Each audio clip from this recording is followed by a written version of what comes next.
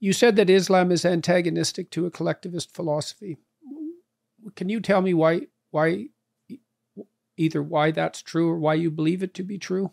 Well, first and foremost, the Quran itself, because the Quran, if you look at it, it's a book of individuals going against groups that are insane.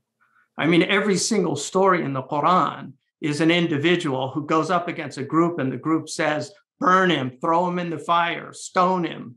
So that, you know, it's pretty clear from the Quran that the group is not necessarily a good thing. And the Prophet Muhammad said, master yourselves so that you don't become yes people that when people do good you do good and when they do bad you do bad but but be so that when people do good you're with them and when they do bad you refrain from their evil